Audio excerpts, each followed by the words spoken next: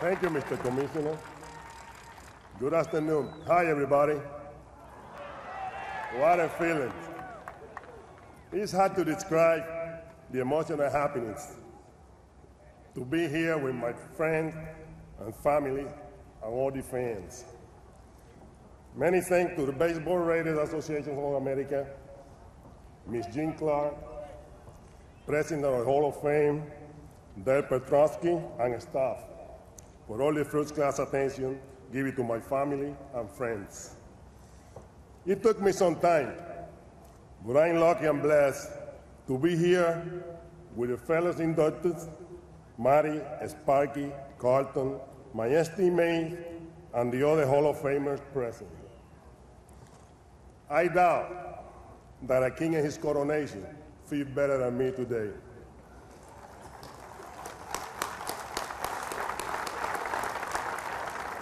Many thanks to my, friend, my friends in Boston, Montreal, Philadelphia, everywhere, and especially in Cincinnati, a city that embraced me and refused me and refused to boo me anytime. On my worst times, supported and loved me all the time. The feeling of love and respect is mutual, and I really mean it. Many thanks to all that came from Puerto Rico, Cincinnati, Miami, Venezuela, Dominican Republic, Mexico, and everywhere. And to my father-in-law, Pablo de la Cantera, who is watching from Puerto Rico.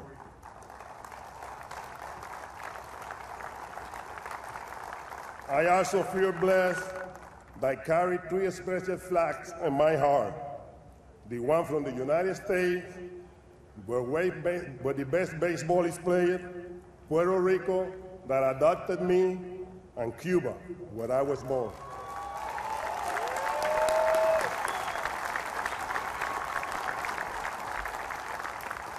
I was born and raised in a small sugarcane mill in Camagüey, Cuba, where my father loved baseball, always supported me and taught me to respect and love for the game. I came from a poor, hardworking family, but rich in love and respect.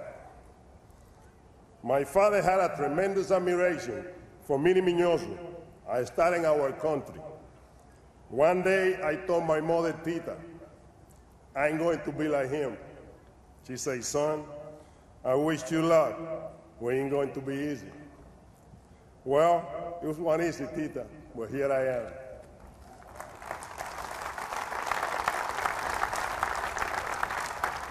When the late Tony Pacheco and scout for the Cuban Sugar King signed me at 16, my father supported me.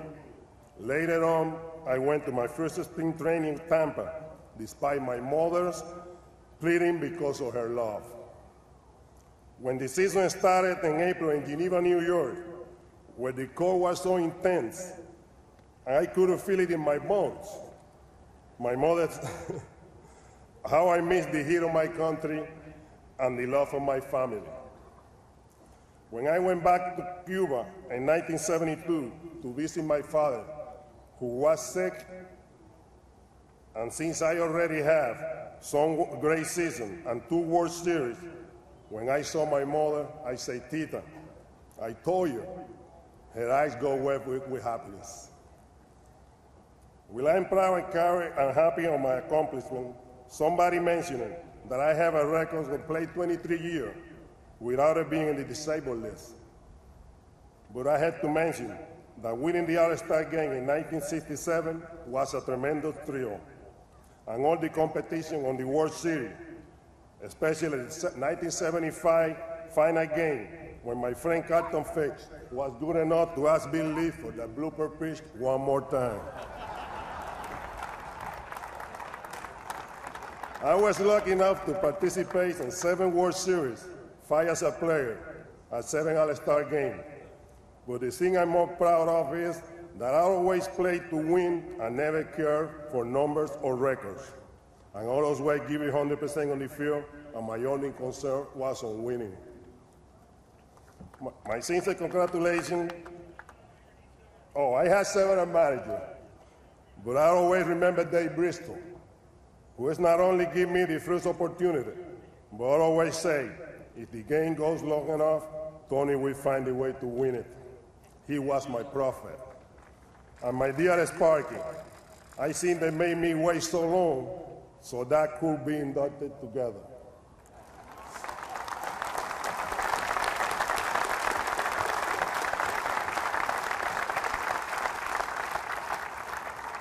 My sincere congratulations to Marty Brennaman, a very classy individual that's always supported me, and his partner, the young pitcher ever, Joe Nuxhall. I was after looking to play with two Hall of Famers, Johnny and Carlton, and many other Hall of Famers and classy individuals such as Joe, Davey, Pete, my brother in Cincinnati, and estimate Lee May, Foster, Mike Smith, Cepeda, and others without too many to name one by one. May I also, may, may I also thank this Marlin organization, which opened the door to me, and especially Mr. Henry, Dave Dombrowski, Marlin staff, and all, all the Marlins fans and the South Florida fans. I also hope in the near future, Dave Concepcion, Andre Dawson, Tony Oliva, Luis Tiant, Minnie Miñoso, and Pete Rose could be here because the feeling is wonderful.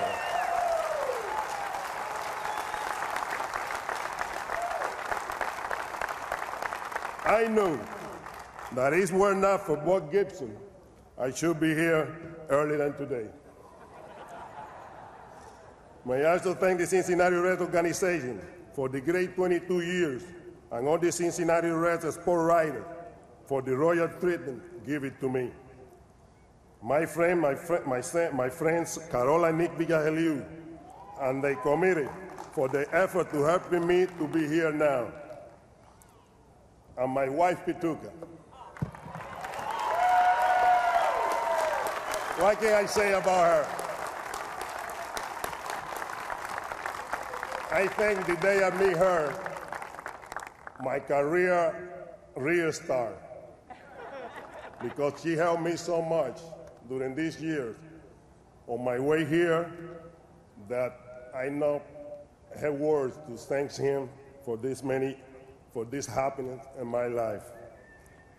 I think I'm not the only Hall of Fame in the family. She is the real one.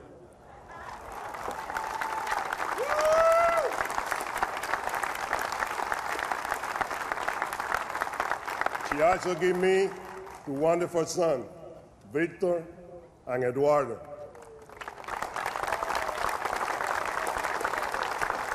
No father can have two better sons, and, and I have, and I really mean it. These guys are, are wonderful and really always respect us. I mean, especially my wife. yeah, he has to. I want to thank the, the San Luis Cardinals organization and his manager, Tony La Russa, for Le Eduardo being here with me today.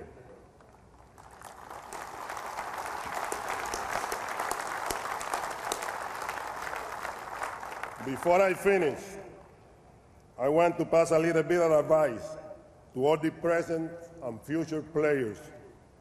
Please, respect and honor the uniform you wear. Respect your fans, and more important, respect the game of baseball, a national great pastime.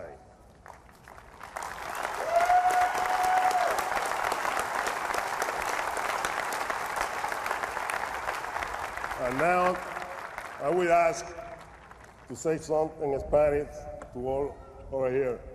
I had to speak to the people in all the countries and all the in Latin America who supported me for so many years.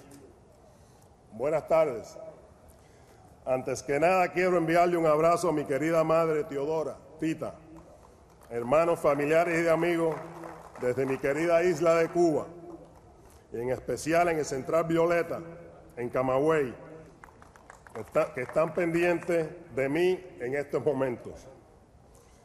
Gracias a mis familiares y amigos que han venido y fanáticos presentes y televidentes. A mi adoptiva isla de Puerto Rico, que allí también disfrutaron de mi carrera invernal y como dije anteriormente, es una de las tres banderas que llevo en mi corazón. Espero con un futuro muy lejano peloteros como Dave Concepción, Luis Tian, Tony Oliva, Mini Miñoso, Pete Rose sean también exaltados. Un cordial saludo a mis amigos fanáticos en general y al comité dirigido por mis amigos Nican Carola Villageliu, que me ayudaron a llegar hasta aquí en este día. Habiendo participado en siete series mundiales, siete juegos de estrella y ser el séptimo latino en ser exaltado, ser exaltado y que sin la ayuda de mi, mi esposa Pituca nunca hubiera llegado aquí y de mis dos pupilas, de mis ojos, Eduardo y Víctor.